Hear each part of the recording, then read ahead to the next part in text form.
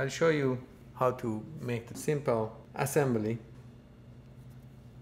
The lens uh, is mounted by two retaining rings inside a 65 millimeter tube with this spanner wrench. Uh, the lens can be tightened. So you basically space it so when you put this facing down the lens will be protected and the way you do the rest is these rings that are connecting rings. When you install these you would secure using your nail one end of the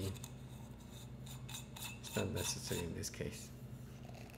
And then you keep continue adding the tubes I think it's necessary here because you want the retaining ring to be evenly engaged.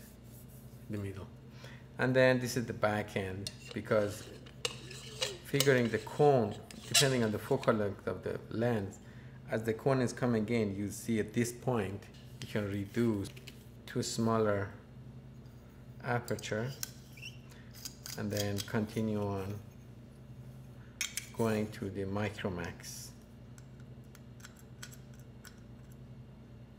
and this is basically the eyepiece holder. You can install the eyepiece. The telescope is ready now. You can go ahead and focus the telescope. To mount this you'll simply mount it here.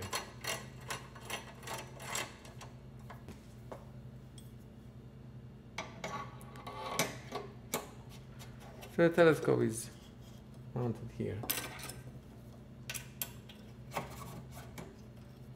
So as you can see,